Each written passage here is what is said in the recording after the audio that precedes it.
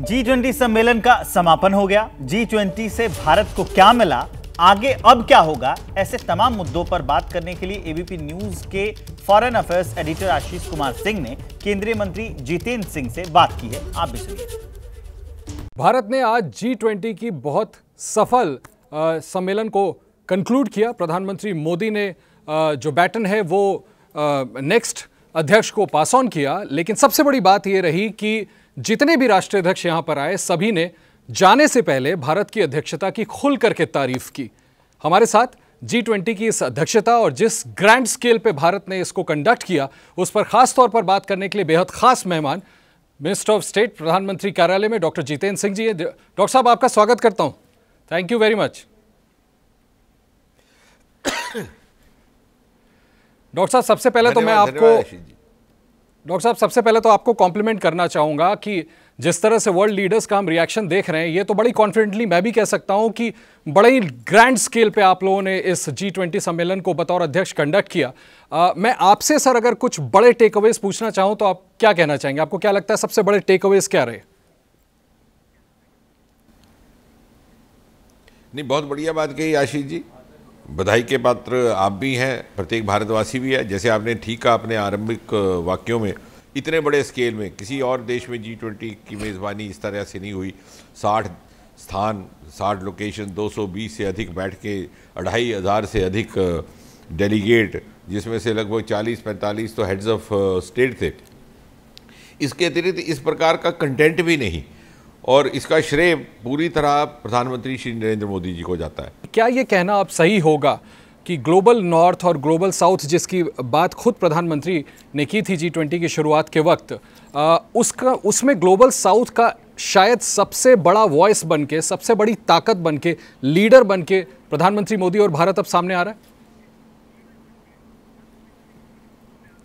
निश्चय आ रहे हैं और जी ट्वेंटी से पहले ये बात स्थापित हो चुकी थी। मैं काफ़ी समय से कह रहा हूँ कि अब वो ज़माना जाता रहा जब भारत दूसरों की अगुवाई में काम करता था। आज दुनिया भारत की अगुवाई में काम करने को तैयार है मोदी जी के नेतृत्व में। एक सवाल आपसे ज़रूर करना चाहूँगा। मैंने देखा कि प्रधानमंत्री ने आपने भी ऑब्ज़र्व किया कि बहुत स्ट्रेस दिया है इस बात पर कि अब जो इंटरनेशनल फोरम्स हैं, चाहे वो यूएन सिक्योरिटी काउंसिल हो या न्यूक्लियर सप्लाइज सप्लायर्स ग्रुप हो अब भारत को मेंबरशिप मिलनी चाहिए। उन कंट्रीज़ को भी मिलना चाहिए और उन्होंने साफ़ तौर पर कहा कि भाई जो वक्त के साथ नहीं बदलता वो मीनिंग खो देता है वो इंस्टीट्यूशन तो आपको लगता है कि अब कम से कम इतने सक्सेसफुल इसके बाद जहाँ पर हमने अफ्रीकन यूनियन को भी सदस्य बना दिया भारत को भी ये मौका मिलना चाहिए। प्रधानमंत्री की इस अपील पे वर्ल्ड को आ, सोचना चाहिए और ऐसा होना चाहिए। भिन्न भिन्न देशों की रिलेटिव पोजीशंस बदल चुकी हैं। भारत अब पिछला भारत नहीं रहा। और टेक्नोलॉजी ने पूरा का पूरा एक कार्यशैली, संस्कृति बदल डाली और भारत टेक्नोलॉजी के उपयोग में सबसे आगे है।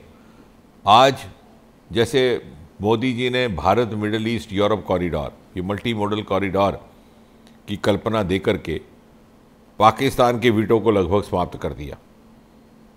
माफ़ कीजिएगा, जो पाकिस्तान की मन मर्ज़ी पर हम निर्भर थे कि आप ऊपर से जा सकते हैं कि नहीं जा सकते एक्सेस इसी प्रकार यदि ये फोरम भी अपने तौर तरीकों को वक्त के तकाजे के साथ नहीं बदलेंगे तो दूसरे विकल्प निकल आएँगे। तो सर ये हम पाकिस्तान के पाकिस्तान से होकर नहीं निकले मैं समझता हूँ कि जितनी जल्दी हमें ये बात समझ आए। डॉक्टर साहब इस कॉरिडोर में हाँ, पाकिस्तान कहीं तो नहीं मैं रहा ये कह रहा हूँ कि जितनी जल्दी हमें मोदी जी की बात समझ आए ये सबके सभी का भला उसी में है। चाइनीज़ प्रेसिडेंट यहाँ नहीं आए। आप इसको कैसे देखते हैं और क्या साउथ एशिया में आप अब हम ये कह सकते हैं कि चाइना के बनस्पत शायद सबसे ज़्यादा ताकतवर देश बनकर भारत उभर रहा है। जी हाँ जैसे मैंने अभी कहा कि अगर वक्त के तकाजे के साथ अगर हम अपने आप को नहीं डालते तो या तो वक्त पिछाड़ देता है या दूसरे विकल्प निकल आते हैं। ठीक उसी तरह जैसे पानी का बहाव है अब कुछ समय के लिए आप उसको रोक सकते हैं, लेकिन अगर बहुत देर तक रोकते रहेंगे, मौसम बदलेगा, फ़िज़ा बदलेगी, पानी का बहाव बदलेगा, रास्ता दूसरा निकल आएगा। आज ये जो भारत कॉरिडोर की कल्पना मोदी जी ने रखी है इसमें जहाँ मैंने एक बार एक तरफ़ ये कहा कि जो मनमानी पाकिस्तान की होती थी उसको भी एड्रेस किया गया और दूसरा जो समय समय पर चीन की तरफ़ से इशारा आता था कि साहब हम वहाँ से सड़क निकालेंगे वहाँ से निकालेंगे वहाँ से रूट निकालेंगे उसका भी उत्तर इसी में आ गया बिना कुछ कहे हुए। एक बार फिर से मैं एबीपी न्यूज़ की तरफ़ से डॉक्टर साहब आपको मोदी सरकार को शुभकामनाएँ देता हूँ कि वाकई ये जी ट्वेंटी सम्मेलन ऐसा हुआ है कि पूरी दुनिया इसको नोट कर रही है। बहुत बहुत शुक्रिया सर। जैसे ही घड़ी का काटा दोपहर ढाई पे आए, बबीता जी का दिल सास बहू साजिश के लिए मचल जाए। और ये है इनकी बहू।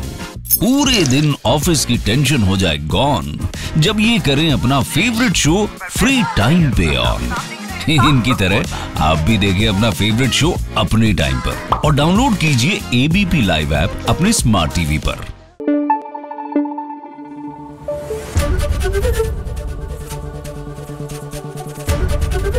ABP news.